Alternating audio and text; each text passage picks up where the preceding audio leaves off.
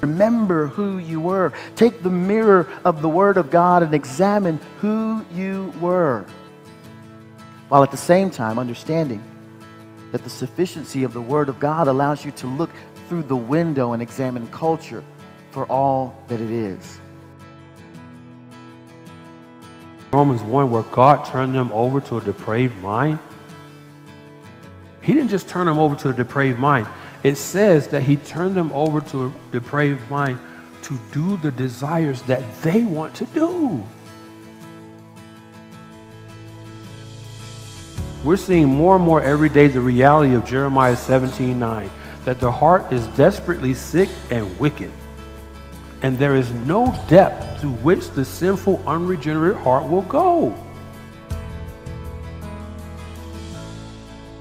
Christ didn't come to save society, He came to save sinners. Now, that does not mean that society won't be impacted by saved sinners. It should be.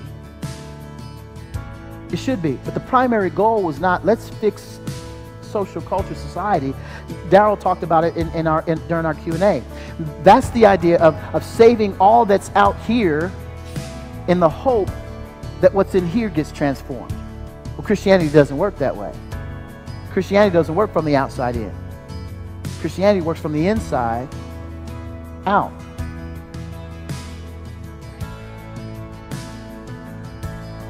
The Apostle Paul says in 2 Corinthians chapter 5, verses 14 through 16.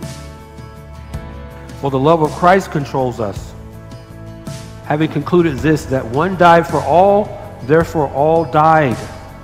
And he died for all, so that they who live might no longer live for themselves, but for him who died and rose again on their behalf. Therefore now, here's the money verse, verse 16 of 2 Corinthians 5. Therefore now we recognize no one according to the flesh.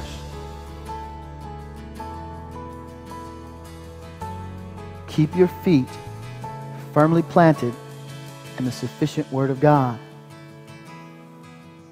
Be an evangelist.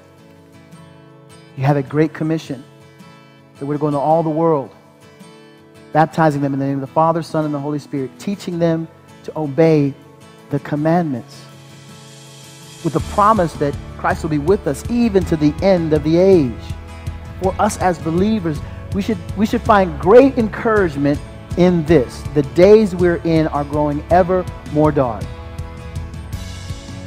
But in the, in the darkest of days, the smallest of light is more brightly able to be seen. And you are that light.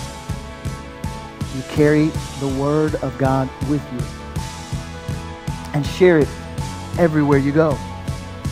That you're resolved, that come what may, storms that come, you're not moving. You will not be moved from the Word of God.